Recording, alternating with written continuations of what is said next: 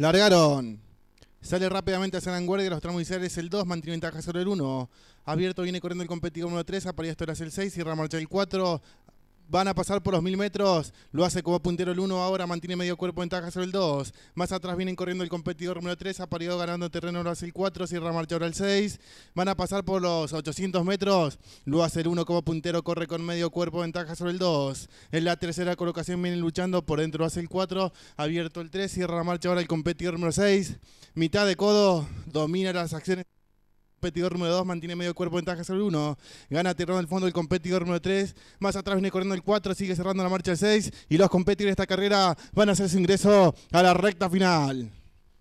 Últimos 400 metros, Valdisco. Reñida lucha por la vanguardia. Lo están haciendo luchando cabeza a cabeza por dentro el 1. Abierto el 2. Más abierto viene corriendo el competidor número 3. Gana terreno del fondo el 4. Sigue cerrando la marcha el 6. Últimos 200 metros, Valdisco. Continúa la lucha por la vanguardia. Cabeza a cabeza por dentro el 1. Abierto el 2. Más atrás queda el competidor número 3. Gana terreno el 4. Últimos 100 metros, Valdisco. Domina las acciones el 2. El 2 empieza a tirar ventaja sobre el 1. Más atrás queda el 3. El 4 cierra la marcha 6. Pocos metros, Valdisco.